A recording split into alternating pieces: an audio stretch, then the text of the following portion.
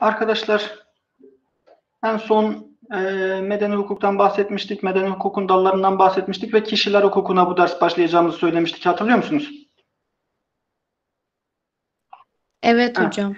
Şimdi dedik ki iki tür kişilik var bizim hukukumuzda. Bir gerçek kişiler, kişi, kişiler, biz, ben, sen, biz, siz, onlar falan filan. Gerçek insanlardan bahsediyoruz gerçek kişi derken. Bir de tüzel kişilik diye bir kavramımız var. Tüzel hukuki anlamında. e, belli bir amaç etrafında organize olmuş kişi veya mal toplulukları e, devletin de veya hukuk düzeninin de kendilerine bir kişilik atfettiği durumda tüzel kişi oluyorlar. Ama dediğim gibi hukuk düzeni e, o kişiye ne kadar e, o kişiye kişilik atfetmediği müddetçe ne kadar bir o amaç olursa olsun, ne kadar bir organizasyon olursa olsun hiç fark etmiyor. O zaman kişi diyemiyoruz. Önce gerçek kişiden başlayalım. Gerçek kişi eee, nasıl başlar? Hukukta gerçek kişiliğin başlangıcı için bir tanımımız var ama önce ben size sormak istiyorum. Kişilik ne, nasıl başlayabilir sizce?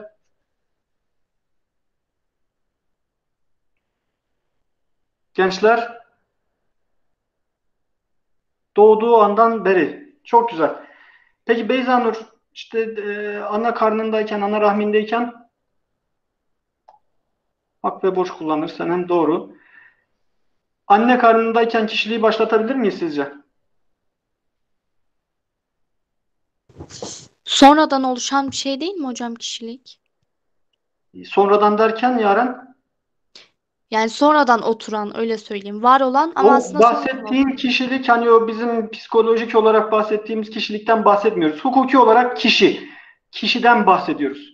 Ve kişi eee, her ne kadar arkadaşlarınız cenin içinde evet dese de e, hayır.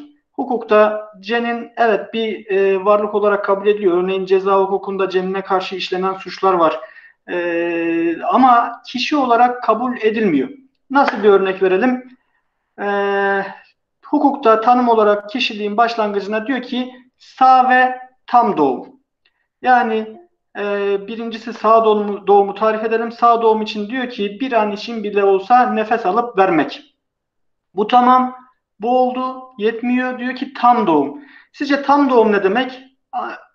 Evet Beyza Nur doğru cevaplamış. Anne karnından tam olarak bedenin ayrılması. O cenin dediğiniz bedenin anne karnından tam ayrılmasına da biz tam doğum diyoruz. Yoksa kolu bacağı olmaması işte aklı yerinde olmaması falan filan değil. Tam doğum o anne karnındaki bedenin tam olarak anne vücudundan ayrılması. Sağ doğumda bir an için bile olsa nefes alıp vermek. Peki soru şu. Doğdum, nefes aldım, verdim, öldüm veya ölü doğdum. Niye ikisi arasında bir fark gütmüş olabilir ki hukuk düzeni? Yaren nasıl yani demiş. Mesele şu. Kişiliğin başlangıcı, başlangıcı için dedik ya sağ ve tam doğum. Bir an için nefes alıp verdim. Anne vücudundan da tam ayrıldım. Ama nefes aldım, verdim, öldüm. Ya da ölü doğdum. Hiç nefes almadım doğduğum andan itibaren. Bunun ikisi arasında niye bir fark olsun ki? Beni de ölü doğdu diye kaydetsinler nüfusa geçeyim. Niye fark etsin? hocam birini e, yaşam devam ettiği için sürekli hakkımız vardır mesela o Ya anlamda öldü, olabilir mi? nefes aldı, verdi, öldü. Evet. Sonuçta var olmuş fark olmaz ki. Kısa da olsa yaşamış oluyor. Yaşamış olunca ne oluyor Betül? Zeynep mi diyorsunuz, Be- Betül mü diyorsunuz arkadaş? O nefesi aldı hocam. Yani sana hakları oluyor. Çok doğru. Bakın arkadaşlar, şöyle bir örnek. Ee, her dersimde bu örneği veriyorum. Çok hoşuma gittiği için. Benim öğrenciliğim yıllarında e, medyada çok popüler bir haber vardı. Zengin bir vatandaş, e, çok zengin bir vatandaş e, hakkın rahmetine kavuştu. İki tane çocuğu, bir de e, nikahlı eşi var. Bunlar mirasçı mı? Miras hukukuna ileride geleceğiz ama mirasın evet mirastan pay alıyorlar. Şimdi eee, nikahlı olmadığı kırığı, sevgilisi veya imam nikahlı eşi mirastan pay alır mı? Hocam resmi Almaz olarak hocam. eşi sayılmadığı için alamaz. Alamaz. Çok doğru. Ancak ve ancak resmi nikahlı eş olacak. Hatta eşim de boşanmamış olacak. Boşanmış eş de mirastan pay alamıyor. Öyle bir durum var. İleride değineceğiz ona.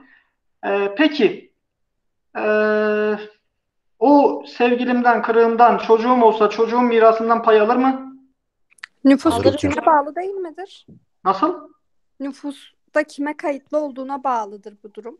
Olur mu? Bak Naim Süleymanoğlu'nu hatırlayın. Zam- yakın zamanda. Adam öldü gitti. Çağısı çoluğu vardı. Resmi nikahlı eşi vardı. Öldü. Sonra bir zaman sonra Japon bir kız çıktı geldi dedi ki benim babam Naim Süleymanoğlu mezarı aşklar DNA örneklemesi filan arkadaşlarınızın dediği gibi Ee, ve mirasçı oldu. Önemli olan soy bağı veya kan bağı dediğimiz o bağın var olması ve bunun ispat edilebilir olması. İspat edildiği anda problem yok.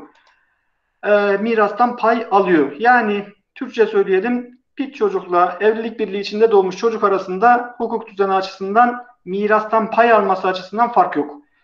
Ee, o tanıma tenfiz davaları falan onları karıştırmıyoruz. Önemli olan kan bağı. Kan bağı varsa mirastan pay alıyor. Şimdi bakın bu bahsettiğim olayda e, zengin adam öldü gitti. Çağısı çoluğu eşi var. Bir tane kadın ortaya çıktı. Dedi ki ben e, karnımdaki çocuk bu ölen adamdandır. Kadın hali hazırda mirastan pay alabiliyor mu? Hayır. Hayır. Ne yazmışsınız? E, hocam sınıftan Vahit Serdar diye bir arkadaşımız da ders katılım isteğini kabul. Valla gelen isteklerin hepsini kabul ediyorum. Tekrar çıkıp denesin. E, muhtemelen olacak. E, peki o çocuk ölü doğarsa mirastan pay alabilir mi? Alamaz Yine hocam. alamaz. Alamaz. Çocuk doğdu, nefes aldı, verdi, öldü. Mirastan normalde e, pay alabilecek duruma geldi mi? Alır hocam.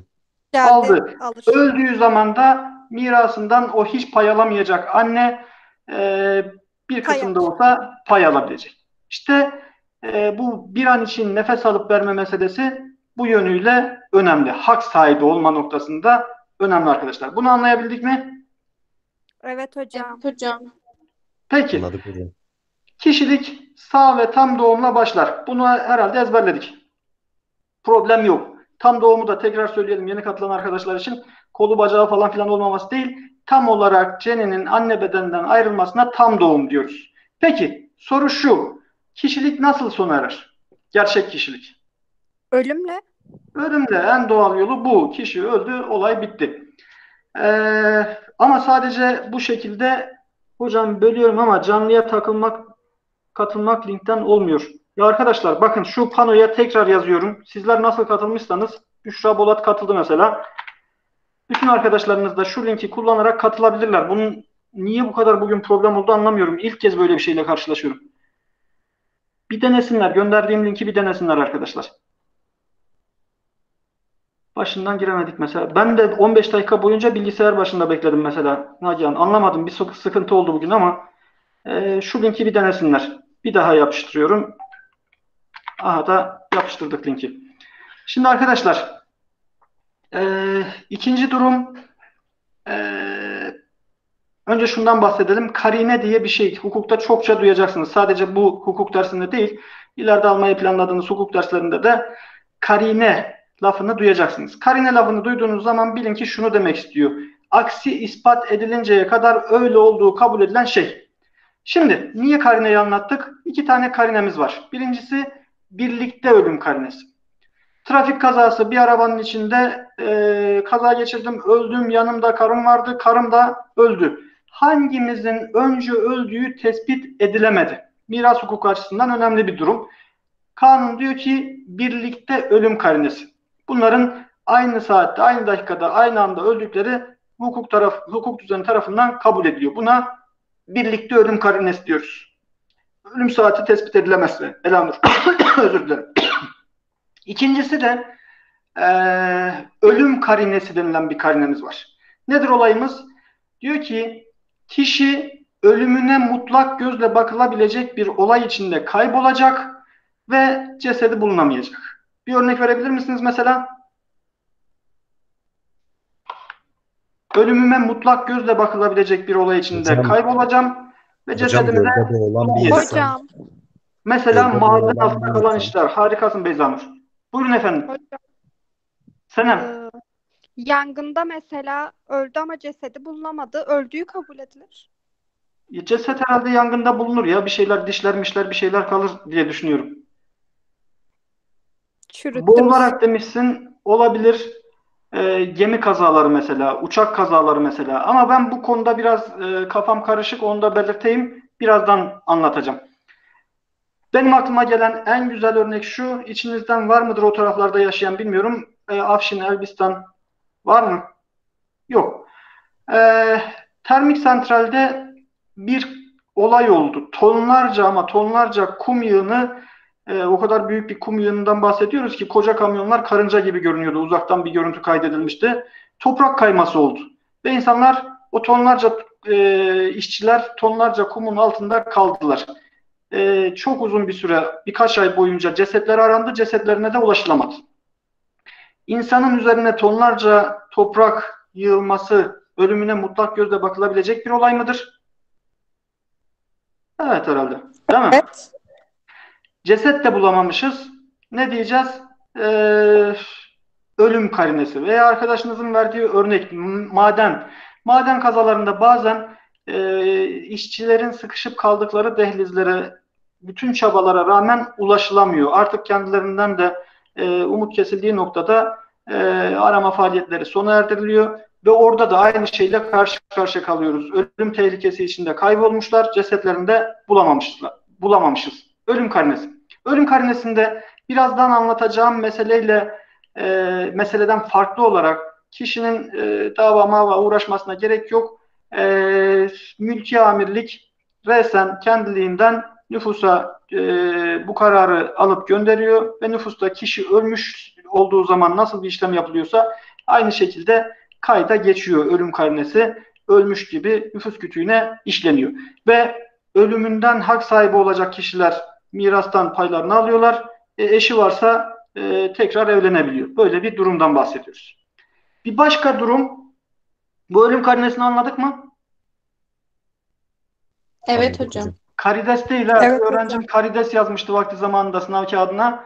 Bu arada sınavdan bahsedelim. Bu hafta sınavınız var. Tarihini biliyorsunuz. Sınavdan haberiniz var değil mi? Var hocam evet. Ha, tamam. Var hocam. Şimdi e, ölüm karinesini anladık. Bir başka durum, kişiliği sona erdiren bir başka durum da gayiplik.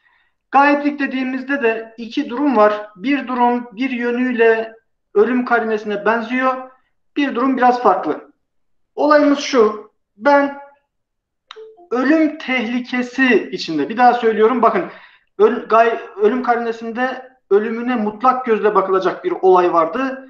Burada ise gayiplikte ise ölüm tehlikesi içinde kaybolacağım. Cesedime ulaşılamayacak. Ee, bu birinci durum. İkinci durum da şu e, uzun süre haber alınamama. Her iki durum için de belirli sürelerin geçmesinden itibaren e, benim ölümümden menfaat elde edecek, menfaat bekleyen kişiler mahkemeye müracaat edecekler. O süreler geçtikten sonra mahkeme 6 aylık bir inceleme, araştırma yapacak, ilan yapacak.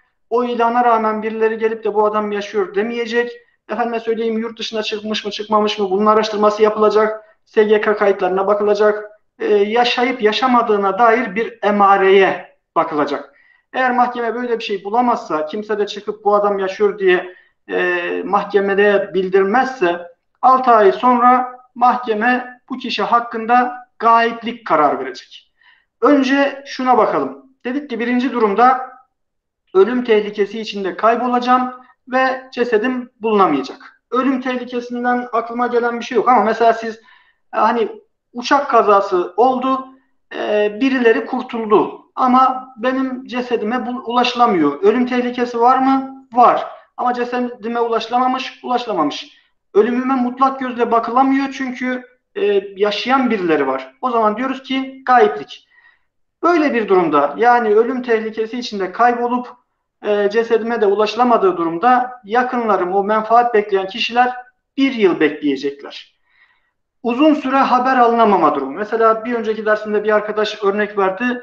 Adam bir sabah evden çıkıyor. Üzerinden 8 yıl geçmiş Alzheimer hastası bir kişi halen daha e, ulaşılamıyormuş. Müge Anlı'ya falan çıkmışmış. Öyle anlattı.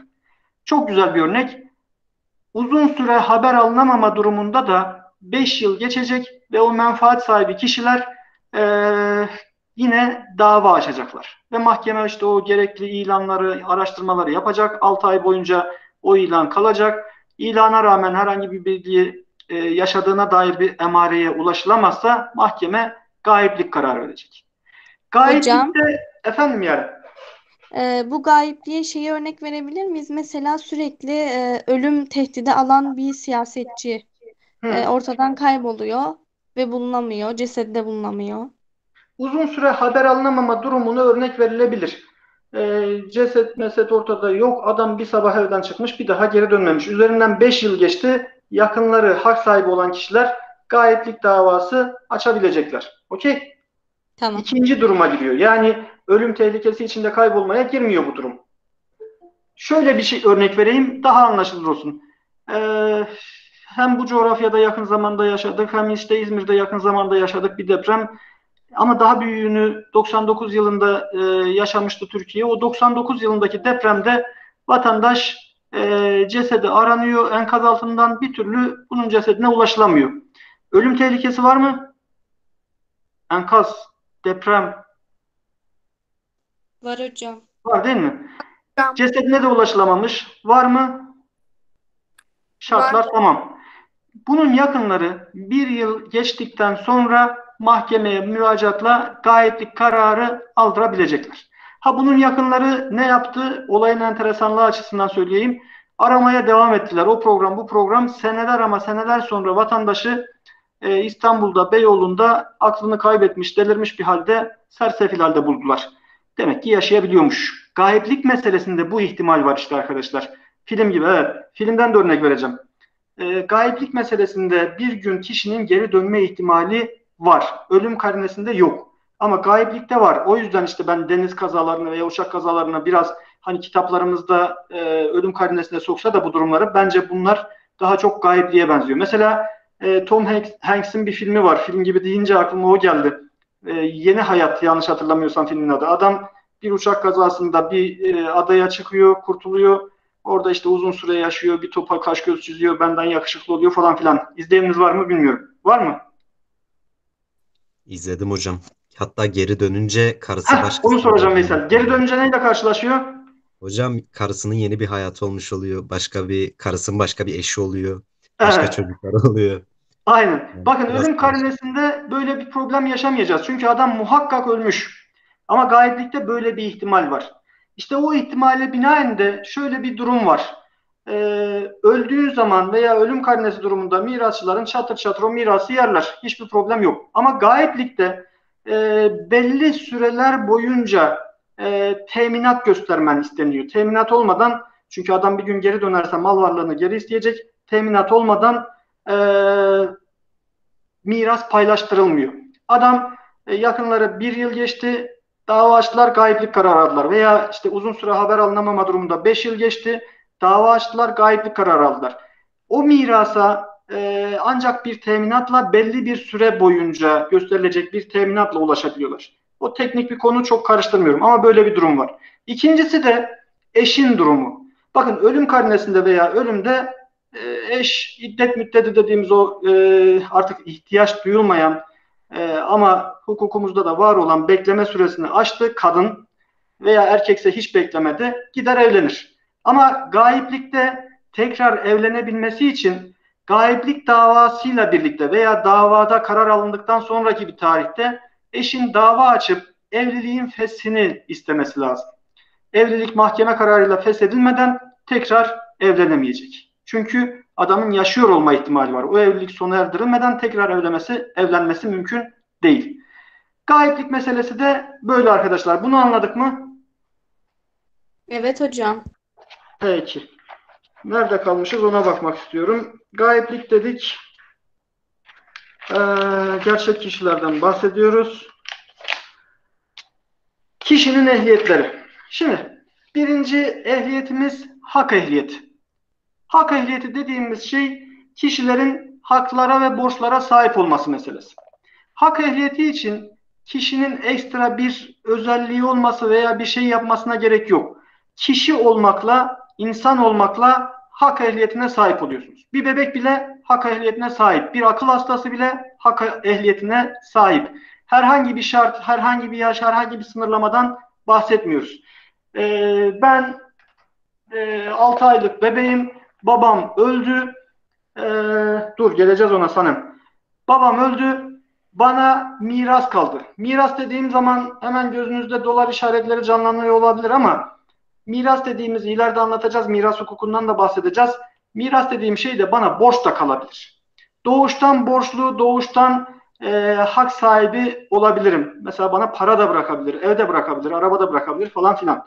En nihayetinde hak sahibi olmak için, hak ehliyetine sahip olmak için herhangi bir şarta, şurta, kayda, kuyda gerek yok. Ama bir de fiil ehliyeti denilen bir şey var. Fiil ehliyeti içinse kişinin pozitif bir ivmesi gerekiyor. Ne demek istiyorum? Diyor ki bir kişinin kendi fiilleriyle haklar kazanabilmesi.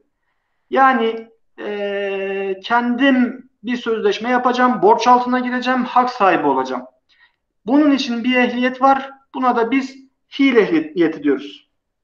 Bunun içinde hukuki işlem yapma ehliyeti var, haksız fiillerden sorumlu, sorumlu olma ehliyeti var ve e,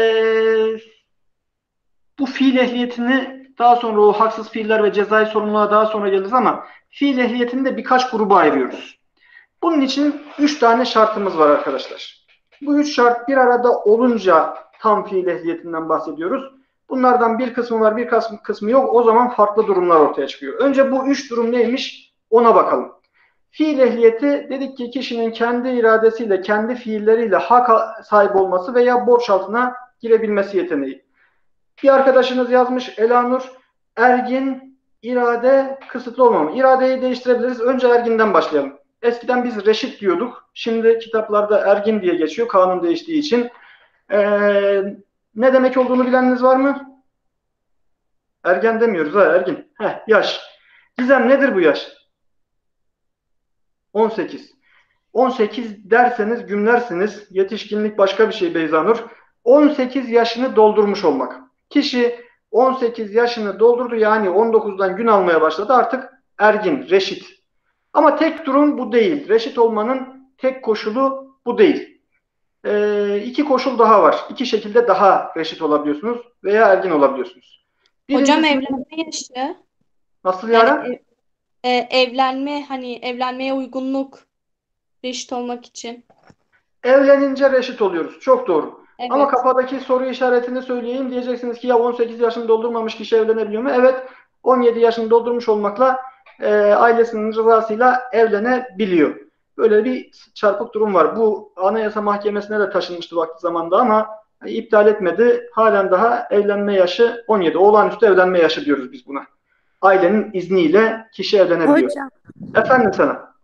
mahkemeyle 16'ya inmiyor muydu?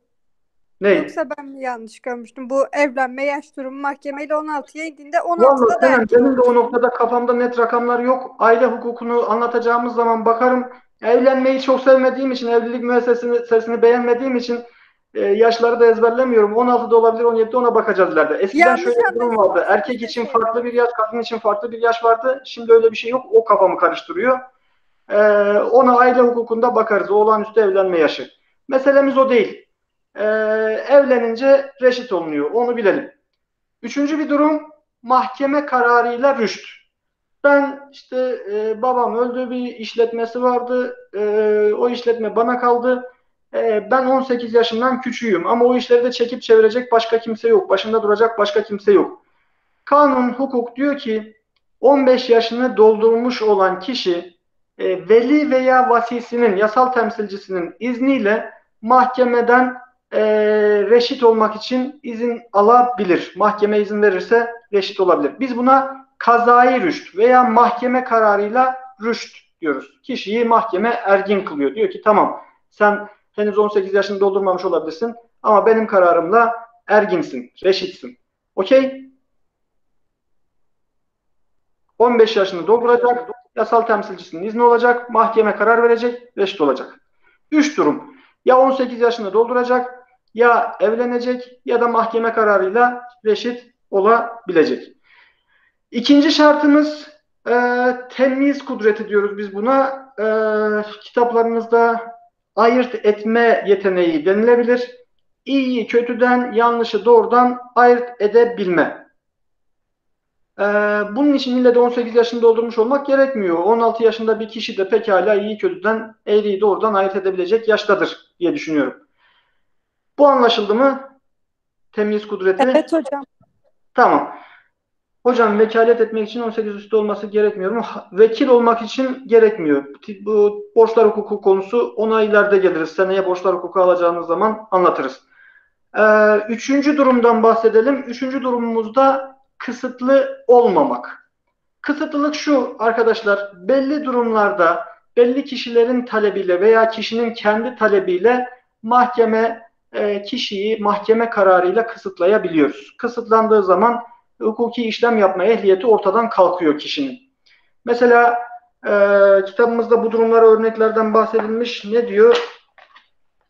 Alkol Ee, veya uyuşturucu bağımlılığı. alkol, uyuşturucu bağımlılığı, akıl hastalığı, akıl zayıflığı, savurgan yaşam, e, kötü yaşam, kötü yönetim. Mesela ayın 15'inde maaş alıyorum, kendimi pavyonda buluyorum. Şatıda, şurada bir gecede parayı bitiriyorum. Eve 5 kuruş para götürdüğüm yok. Ama evim de var, ailem var, bakmakla yükümlü olduğum. Eşim dava açarak benim kısıtlanmamı, kendisinin yasal temsilci olarak atanmasını isteyebilir. O durumda ben artık e, hukuki işlem yapma ehliyetini kaybederim. Borçlanamam. Maaşımı da eşim alır, ben alamam gibi. Ee, buna biz kısıtlanma diyoruz. Veya başka sebepler e, ne demiş? Bir yıl veya daha uzun süreli özgürlüğü bağlayıcı bir cezaya mahkum olma. Ceza yargılaması. Yargılandım, bir yılı aşkın e, bir hapis cezası aldım. Kanun diyor ki bu kişi kısıtlı artık. Efendime söyleyeyim, kendim kısıtlanmamı talep edebilirim. Çok yaşlanmışımdır, artık gözlerim görmüyordur veya algılama yeteneklerim zayıflamıştır. Yanlış bir hukuki işlem yapıp borç altına girmemek adına mahkemeden kendimin kısıtlanıp bana bir yasal, yasal temsilci atanmasını talep edebilirim. Kısıtlılık meselesi de bu arkadaşlar. Şimdi bakın. Ee, Yaren, cevap. 18 yaşını doldurdun mu? Evet hocam. Ee, iyiyi kötüden, yanlışı doğrudan ayırt edebiliyor musun? Edebiliyorum evet. Peki mahkeme kararıyla bir kısıtlılık durumu söz konusu mu? Çok şükür hayır hocam. Çok şükür tam ehliyetlisin. Evet. Dört grup eh- e, fiil ehliyeti var. Birincisi tam ehliyetli. Tam ehliyetli yaren. Murat Bal sınırlı ehliyetli. Niye sınırlı ehliyetli? Çünkü Murat Bal bazı hukuki işlemleri tek başına yapamıyor. Eşimin rızası gerekiyor. Çünkü evliyim. Evliler bir yönüyle sınırlı ehliyetli. Veya tam kısıtlı olmamakla beraber bazen bazı kişilere mahkeme kararıyla yasal temsilci atanabiliyor. Bu durumdaki kişilere de biz sınırlı ehliyetli diyoruz. Normalde tam ehliyetliden hiçbir farkı yok. Ama mesela Murat Bal birisine kefil olmak istediği zaman eşinin evli olduğu için eşinin rızası aranıyor. Bu şart. Buna biz sınırlı ehliyet diyoruz. Çok üstünde durmaya gerek yok. Üçüncü grupta kişi ya e, reşit değil, yaşı küçük ama e, ayırt etme yeteneğine sahip ya da reşit ama kısıtlı. Yani o üç durumdan sadece ikisi var. İkisi e, yetmiyor. Bir üçüncüsü olmadığı için biz buna e, sınırlı ehliyetsiz diyoruz. E, bakın tam ehliyetli, sınırlı ehliyetli, e, sınırlı ehliyetsiz ve bir sonuncusu tam ehliyetsiz. Tam ehliyetsiz dediğimiz kişide de o saydığımız ayırt etme yeteneği yok. Geçici veya tamamen. Ne demek ki istiyoruz? Ee, akıl hastası olabilir, akıl zayıflığı olabilir, alkol almış olabilir, uyuşturucu madde almış olabilir. Efendime söyleyeyim çocuk olabilir. Ee, ayırt etme yeteneğinden sahip olmayan çocuk olabilir demek istediğim. Böyle bir durum varsa biz artık ona tam ehliyetsiz diyoruz. Şimdi burada önemli olan mesele şu. E, sınırlı ehliyetsiz dediğimiz grupta o kısıtlı veya e, reşit olmayan ama ayırt etme yeteneğine sahip olan küçük var. O küçük e, hukuki işlem yaparsa ne oluyor? Yapamaması lazım. Ama veli veya vasisinin rızası veya izniyle hukuki işlem yapabiliyor. 15 yaşındasın, baban veya işte 11 yaşındasın anasını satayım. Baban seni ekmek almaya bakkala gönderiyor. Normalde hukuki işlem. Ama önceden sana izin vermiş, cebine parayı koyarak, zımni olarak sana rıza göstermiş, izin vermiş. Vasi sorumlu olmaz mı? Neyden bahsediyoruz? Senem sorumluluk derken? Son anlattığınız şey hocam. Sorumluluktan kastın ne? Hani 15 yaşındaki vasisinin izniyle bir şey yaptı ama sorumluluk yine vasiye aittir değil mi?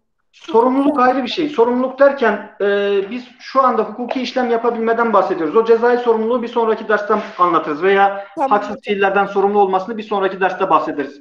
Burada bahsettiğim şey e, 16 yaşındasın bilgisayar almak için vatan bilgisayara gittin parasını verdin aldın. Bakın bu işleme biz veya kısıtlının aynı şekilde yaptığı işleme biz askıda hükümsüz diyoruz. Ne demek askıda hükümsüzlük? Velisi veya vasisi, yasal temsilcisi o işleme sonradan rıza gösterirse, icazet verirse o işlem geçerse, geçerli hale gelecek. Ama sonradan hayır ben bu işleme rıza göstermiyorum, icazet vermiyorum derse işlem geçersiz hale gelecek. Buna da biz e, askıda hükümsüzlük e, diyoruz. Bu anlaşıldı mı? Evet hocam. Evet hocam. Şimdi tam ehliyetsizler için e, bir şeyler bahsetmiş kitabımız. Diyor ki e, kendi başlarına bir hukuki işlem yapması mümkün değildir. Hukuki işlem olarak yaptığı şeyler de hukuken geçerli değildir. Kanunda gösterilen ayrık durumlar ayrı kalmak üzere ayırt etme gücü bulunmayan kimsenin fiilleri hukuki sonuç doğurmaz. Bakın bu e, yani gelecek ders anlatı, anlatacağım için burada çok fazla da durmak istemiyorum ama e, hem cezai sorumluluk hem haksız fiil sorumluluğu açısından geçerli. 5 yaşındaki bir çocuğun daha doğrusu belli yaşa kadar zaten 12 yaşına kadar çocuğun cezai ehliyeti yok. Herhangi bir suç işlediği zaman ceza veremiyorsun. 12 ile 15 arası farklı, 15 ile 18 arası farklı ama en nihayetinde biz 12 yaşa kadar bahsediyoruz. Cezai ehliyeti yok. Kanun diyor ki bunun ayırt etme gücü yoktur. Veya akıl hastası. Mesela şöyle bir olay anlatayım. avukatlık yaptığım yıllarda devlet tarafından görevlendirilen avukat olarak birisinin müdafiliğini üstlendim. Görev geldi. Gittim dosyayı inceledim. E, vatandaş e, yanlış hatırlamıyorsam Erzurum'da eşini öldürmüş. Akıl hastası olduğu için ceza almamış. Ama e, güvenlik tedbiri dediğimiz akıl hastanesine yerleştirilmiş. Orada tedavisi devam ediyor. Benim önüme gelen olayda ise koğuş arkadaşını öldürmüş. Koğuş arkadaşını öldürdüğü için yargılanıyor. Ee, savcı mesela bu vatandaşa soru soruyor. Acaba hakikaten ayırt etme gücünden yoksun mu değil mi? Akıl hastası mı değil mi? Öğrenmeye çalışıyor savcılık aşamasında. Dosyadan okuyorum bunu. Diyor ki sen diyor e, ölümsüzlüğün çaresini bulmuşsun. Doğru mu diyor? Evet doğrudur. Nasıl diyor? E, diyor ki işte fareyi yakalayacaksın, kızartacaksın, yiyeceksin. Ölümsüzlüğün çaresi budur. Yine mahkeme aşamasında o sırada ben de varım. Yani savcılık aşamasında ben yoktum. Mahkeme aşamasında hakim soru sorarak e, akıl e, dur, akli durumunu, akli melekelerini ölçmek istiyor. Dedi ki sen AIDS hastalığının çaresini bulmuşsun doğru mu?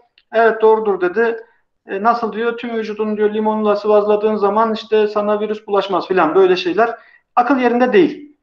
Veya başka bir örnek ben öğrenciydim o yıllarda e, ailemle birlikte yaşıyordum. Kız kardeşimle televizyon izliyoruz. Bir gece yarısı birkaç el silah sesi duyduk. Sabahında olayı öğrendik.